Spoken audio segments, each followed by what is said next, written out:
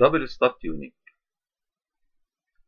In the previous videos, we have studied single stub tuning circuit to match arbitrary load to uh, transmission line of characteristic impedance Z naught. We said that in single stub tuning, uh, we start from Z load and we move across the transmission line a distance d1 such that the input admittance would be y naught plus jb for the case of shunt stub or the input impedance would be z naught plus gx for series admittance. This occurs after a distance d1 from z load. Then we are going to add shunt susceptance equal minus gb or a series reactance equals minus gx such that the input impedance or input admittance after uh, the susceptance or the reactance would be z naught or y naught. In this case, we can match arbitrary load to a transmission line of characteristic impedance Z naught. Actually, the main disadvantage of single stub method is that the distance d is different from one load to another. Thus, this technique is actually suitable if we have a fixed load which should be matched for a specific frequency to a specific transmission line. The question now is that if we are planning to fabricate a general matching load or a general matching circuit, sorry, a general matching circuit, this general matching circuit, it cannot be tuned at specific distance d from z load. So instead of using single stub, we are going to use double stub. In this case, the matching circuit would be composed of a finite fixed distance of transmission line connected to two variable stubs. And by connecting the load to the fixed transmission line section and varying the two stubs, we can match the load. This is what is called double stub tuning. As we said, the single stub tuner is able to match any load impedance having a positive real part to a transmission line. But it suffers from the disadvantage of requiring a variable length of line between load and the stub. According to the load, the length from the load to the stub would be different. Actually, this may not be a problem for a fixed matching circuit. Assuming that we have fixed load and we have fixed frequency or fixed operating frequency, we can design a fixed matching circuit. But this problem would be probably some pose some difficulty if an adjustable tuner is required. In this case, double stub tuner, which uses two tuning stubs at fixed positions. At fixed position, it means that the transmission line section between the two stubs is fixed. It is not variable. Can be used. Such tuners are often fabricated in coaxial transmission line with adjustable stubs connected in shunt to the main coaxial line.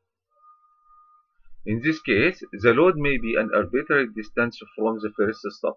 So, regards what is the distance from the first stub. This is the general configuration for double stub tuning circuit. In this case, we have the load admittance Y load dash, which is connected at an arbitrary distance from the terminal of the tuning circuit. The tuning circuit is composed of a fixed transmission line section of distance d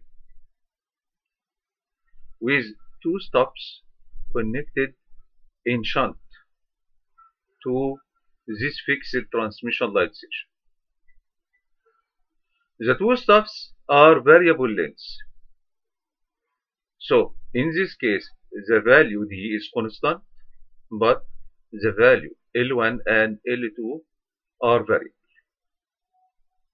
The stubs can be open or short circuit stubs, depending on uh, the design of the tuner. But practically, it is more suitable to be short stub because short stub is actually can be obtained by introducing a conductor connector between the two terminals of the transmission line section. And this conductor it can be moved inside or outside the stub so changing the length of the stub so the more suitable stub in this case is the short circuit stub the other terminal of the tuning circuit is connected to the transmission line which has characteristic admittance Y naught or characteristic impedance Z naught. Actually, as we mentioned, this is the actual load Y load dash which is connected to the tuning stub at an arbitrary distance d or arbitrary distance. So the input admittance at the terminal of the stub is Y load. So actually we are going to match Y load connected directly to the input terminal of the tuning stub or the input terminal of the tuning circuit. Okay. So this actually the general configuration for the double stub tuning circuit. Now, how we are going to analyze such double stub tuning circuit? Assuming that this distance d is an arbitrary distance and this distance d is less than lambda by 2, this means that we are going to move with Y load in parallel to the susceptance of stub 1 which is GB1 so Y load plus GB1 will be moved a distance d until we reach to this point. Then we will add JB2 at this point to introduce a matched load. This means that the input admittance at this point it should be Y naught plus or minus JB2 such that when we are going to add JB2 the input admittance it would be Y naught. This means that the load admittance combined with, with the first susceptance of the first stub. After moving a distance d must lie on the circle which has a real part equals 1 and plus JB and from the value of JB we are going to design the second step to subtract this JB such that the input normalized admittance it would be 1 or the normal or the admittance would be Y naught. this actually what we are seeing here this is how to design a double stub tuning circuit with a distance d because we are going to move a distance d from the load to this point to obtain input admittance having a normalized real part equals 1. So in this case, we are going from this point to the load, we should move to the reverse direction instead of moving toward the generator. Here we are going to move towards the load with a distance d such that we are starting from real part equal 1 here to reach the value of y load. To do this, we should have to rotate the circle 1 plus GB. 1 is the real value and GB is the imaginary value which is extended from 0 to infinity here and from 0 to minus infinity here. So this is called the circle 1 plus GB. We should transfer the circle 1 plus GB from its original place to a new place after a distance d toward the load. Moving toward generator is going in this direction. On the other hand, moving towards the load is moving in this direction. So, if we are interested to find out the input admittance at this point, normalized admittance 1 plus JB, we should rotate the circle 1 plus JB from this point towards the load, the distance D. So, the first step in the design is to find out the distance D or the normalized distance D here, D over lambda towards the load from this point to this point. Then after allocating the distance d on the Smith chart, we are going to draw a line from the center of the Smith chart to the distance d. Along this line, we are going to, to draw the rotated 1 plus GB circle. 1 plus GB circle should have the same diameter of the original diameter of the original 1 plus GB circle. So this is the rotated 1 plus GB circle. So the first step is to allocate the distance d, which is the fixed distance between the two stubs. We are going to allocate the distance d on the Smith chart. And from the location of the distance d on the Smith chart, we are going to draw the diameter of the rotated 1 plus GB circle. So this is the first step and this is the second step. This is the second step. After allocating the diameter of the rotated 1 plus GB circle, we should draw the rotated 1 plus GB circle. So this is step 3. Step 3 is drawing the rotated 1 plus GB circle. Okay? Now we have prepared everything to design the double stub tuning circuit. We are going to allocate the normalized load admittance on the Smith chart. So the fourth step is to allocate the load admittance on the Smith chart. This point. This point has a real part which is along this circle and imaginary part which is along this arc. Okay. Now, this load admittance or normalized load admittance is connected to the first stub in parallel. So the total admittance of the load admittance plus the stub of or the, uh, the susceptance of the first stub would be y load plus GB1. Okay? We should design GB1 here such that y load plus GB1 should intersect with the rotated circle 1 plus GB.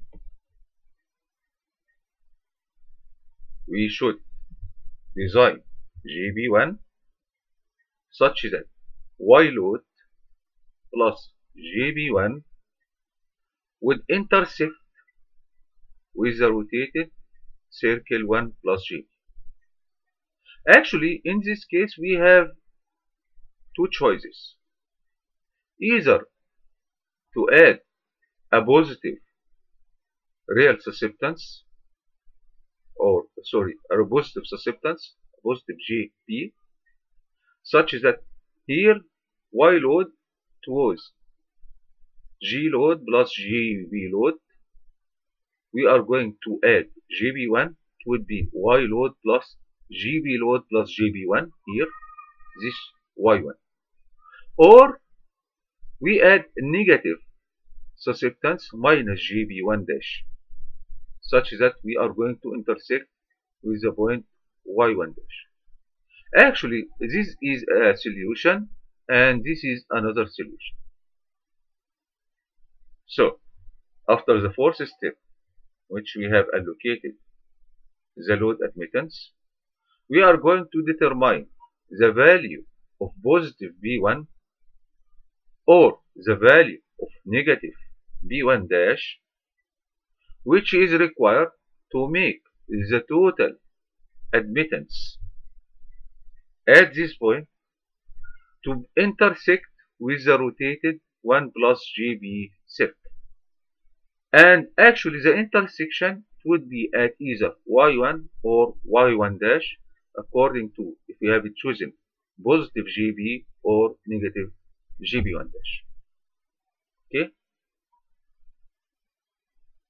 Now, after determining the value of the susceptance of the stub, and we allocated the new admittance after adding the stub, which is actually the admittance of the load plus the susceptance of the stub.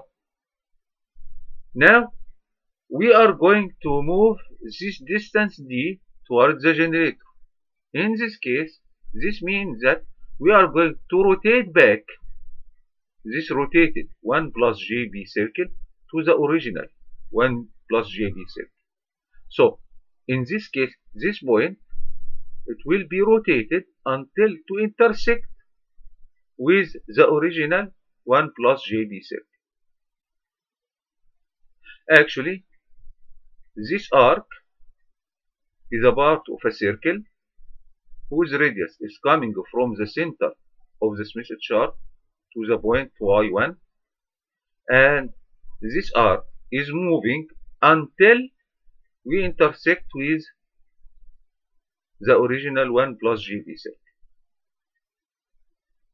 The other solution y1 dash will intersect with the, the original 1 plus GB circle at the point y2 dash.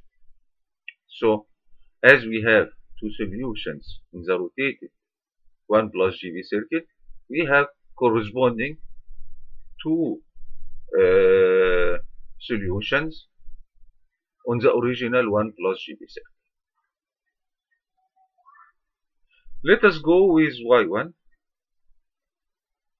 Here we have added GB1 such that the total admittance is Y1 then we are more a distance d along the transmission line so we are going from y1 to y2 on the original 1 plus gb circle now the input admittance at this point has a real part 1 and imaginary part minus GB2. So if we added plus GB2, it would be 1. And once the total admittance is 1 for unity, it means that we have reached to uh, matching. The other solution, if we added minus GB1 dash, such that the admittance at this point was Y1 dash, then we rotated Y1 dash to the original 1 plus JB circle, would be intersecting at Y2 dash, which is has a real part unity and imaginary part plus JB2. So in this case, GB2 dash. In this case, we are going to add or subtract or to add uh, imaginary part equal minus GB2 dash such that the total admittance it would be Y0. So this is solution. This is one solution. Y load to Y1, Y1 to Y2, Y2 to the origin. And in this case, we added B1 as the first step and B2 at the second step and both B1 and B2 in this case are positive. The other solution is we start from Y load to Y1 dash. In this case, we have imagine, uh, negative imaginary B1 dash. And then we rotated Y1 dash to Y2 dash. And Y2 dash here has real part 1 and imaginary part positive. So we are going to add a negative imaginary part minus GB2 dash to reach Actually, this is a main strategy for designing double stub tuning circuit. Uh, for special case, which is the usual case in practice, the distance d is uh, chosen to be around lambda over 8. In this case, this line is actually normal to the real axis. So the rotated uh, 1 plus GB circle will be normal to the original 1 plus GB circle. This would be seen in the example uh, in the uh, next video. Before finishing this point, it should be noted here that uh, the value of YL which can be matched by using this double stub tuning circuit cannot be any point inside the Smith chart. Actually, it should be located at any point outside the circle which is tangent this circle which is tangent to the rotated 1 plus GB circle. This circle is the original 1 plus GB circle. This circle is the original 1 plus GB circle. And this is the rotated 1 plus GB circle. From the rotated 1 plus GB circle, we are going to draw a circle here which is tangent to the rotated 1 plus GB circle. If Y load is allocated inside this tangent circle, if Y load is allocated inside this tangent circle, we cannot tune this Y load by using this double stub. So this region is called the forbidden region or the region where we cannot match the loads which can be allocated inside the circle. Actually, this one disadvantage of uh, the double tuning circuit or the double, uh, the double tuning circuit, which is not uh, appears in the case of single stub tuning circuit. In single stub tuning circuit, there is no forbidden region. But in double tuning circuit, uh, sorry, in double tuning circuit, we have a forbidden region. And if Y load is located inside the forbidden region, we cannot match this uh, load. Okay? Alright.